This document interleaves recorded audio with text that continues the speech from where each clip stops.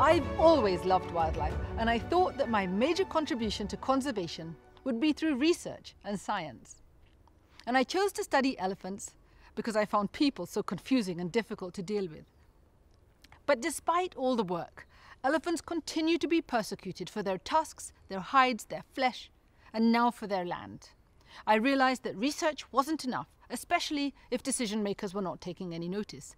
And that's why I moved into advocacy and campaigning. And I started with the Hands Off Our Elephants campaign, which was hugely successful, partly due to the funding from the Whitley Award that I won in 2014 and the Whitley Continuation funding in 2016. But despite this hard won success, elephant numbers across Africa continue to decline. In fact, the African savanna elephant is now considered endangered, and the African forest elephant is critically endangered. I've just come back from the Amboseli ecosystem, which is home to some of the most amazing wildlife.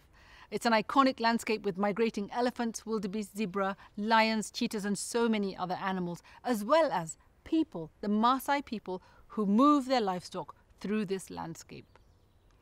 And while I was there, our vehicle broke down. As we were tinkering in the engine, we could hear this rustling in the bushes, and out stepped this magnificent elephant, one of the biggest elephants I've ever seen.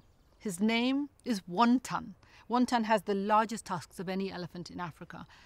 And it was a cause of celebration to see him because just a few weeks earlier he had been injured and treated for a deep wound in his neck, and he was believed to have died because he hadn't been seen again.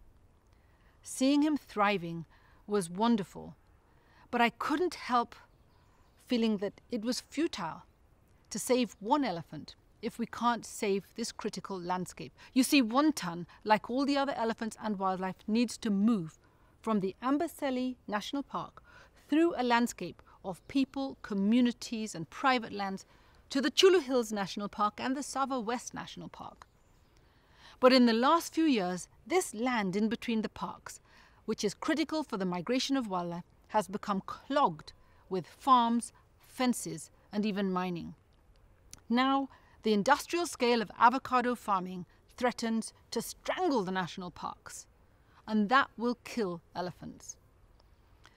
In the past, we were fighting poachers. Now we're fighting industrial farming and international trade. It's a much more difficult challenge. I mean, who doesn't love avocados?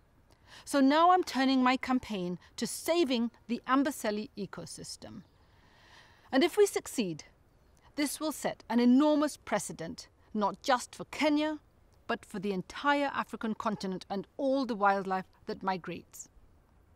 I want to thank the Whitley Fund for Nature and the friends of the Whitley Fund for Nature for the support and recognition through the Whitley Gold Award that I'm receiving today.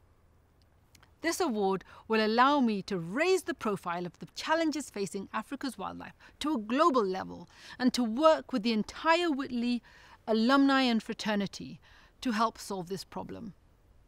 I believe that together we can secure justice for wildlife and people. Thank you.